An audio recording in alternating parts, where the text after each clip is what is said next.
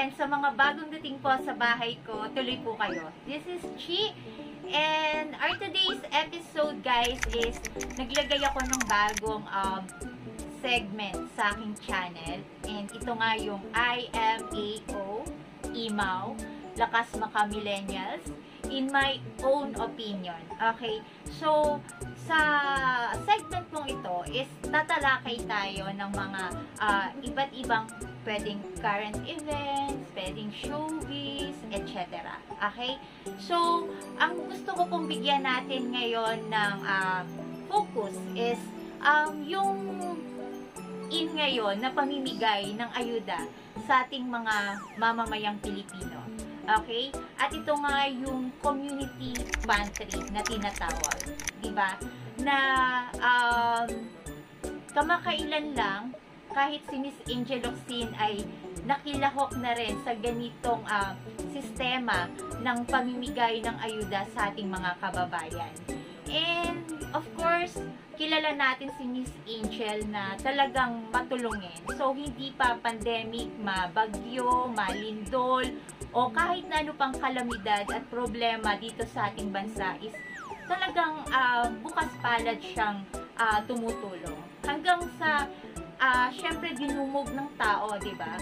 Yung kanyang community pantry. Syempre, uh, kay Miss Angel yan eh. Uh, syempre, isipin ng mga tao talaga, bongga yan. So, uh, mayroong isang senior citizen na hinimatay, nawalan ng malay, hanggang sa tuluyan ng binawian ng buhay. And, syempre, hindi maiiwasan na yung ibang netizens is uh, magbigay ng uh, mga opinion na, of course, is hindi maganda uh, ang mga sinabi, ganyan. So, uh, para sa akin, guys, di ba, katulad ng sinabi ko sa isang kong vlog before is, sa isang pirasong papel na puting-puti at merong isang dot, yung dot lang na yon ang nakikita ng tao. So, nasa na yung lahat ng kabutihan ginawa ni Miss Angel, di ba? Na, na ganun nga, uh, parang sinisipa siya sa pangyayari. Of course, wala namang gustong mangyari na ganun, ba? And, um, although, uh, ako, para sa, sa akin din naman, uh, opinion ko lang po, guys, is, di ba, uh, uh, lampas one year na rin naman tayong um, dumaranas ng ganito, ganitong pangyayari sa buhay natin. Last year, yung pamimigay ng ayuda ng government or ng iba pang mga LGUs, ang ginagawa, di ba, is naga-house to house sila. Um, maglalabas ka ng timba, ng palanggana, and then iiwanan mo doon. Pagbalik mo, may laman na yung timba mo, may laman na yung palanggana mo. Uh, bigas, gulay, itlog, baboy, manok, etc.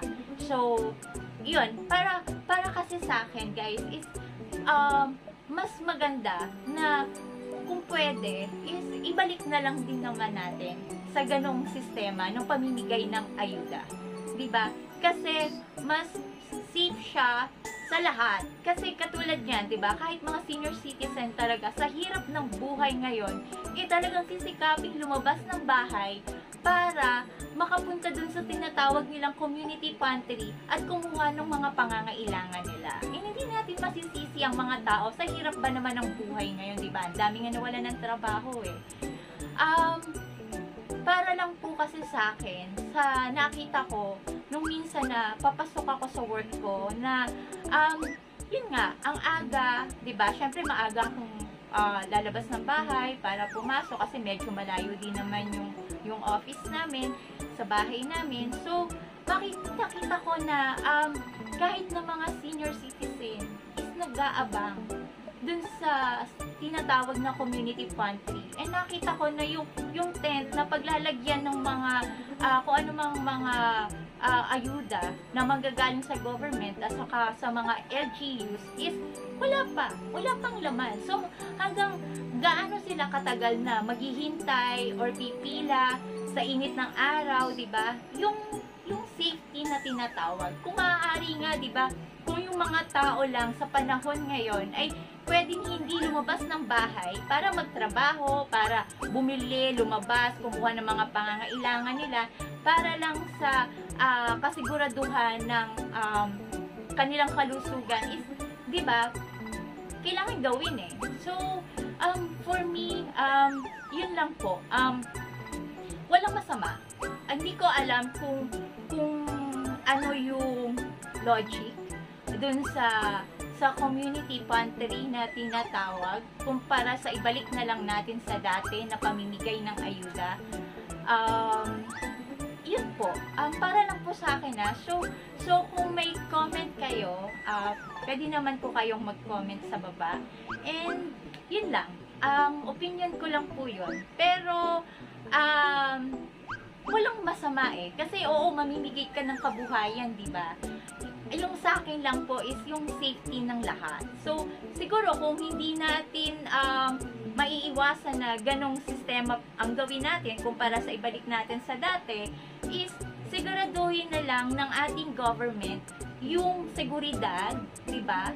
ng mga ng bawat barangay kung sa barangay man gagawin yung yung safety um, protocol para sa health ng bawat isa and yung um, siguraduhin lang na siguro walang halong politika din yung yung isinasagawang community pantry. Kasi minsan ninadaanan din ako eh na isang community pantry na parang um, ang laki ng ng ng tarp na 'di ba? Tapos isang pangalan lang yung nakalagay ganyan. So sabi ko ala may halo ng politika. Yun. Yung is, siguro dun. Yung bagay na yun yung yung malulungkot ka yun lang po ah masabi ko lang yun ah sa akin lang po yun so wag po sanang bigyan ng ibang kahulugan ah, opinion ko lang yun. So, kung may opinion kayo, feel free din po kayo na mag-comment below. Okay? So, yun lang. Pero sa lahat ng mga tumulong, gustong tumulong, at patuloy na tumutulong sa ating bansa is mabuhay po kayong lahat at ah, pagpalain pa kayo nawa ng Diyos na may kapal sa kabutihan ng inyong puso. Okay? So, hanggang dito na lang muna guys. So, don't forget to like, share, and subscribe my channel. And paki-hit nyo na rin po ang ating notification bell para updated kayo every time na mag-up tayo ng bagong video. Okay? Bye guys! Thank you and I love you all. God bless. Momo. Thank you po sa lahat ng mga tumutulong sa bansang Pilipinas.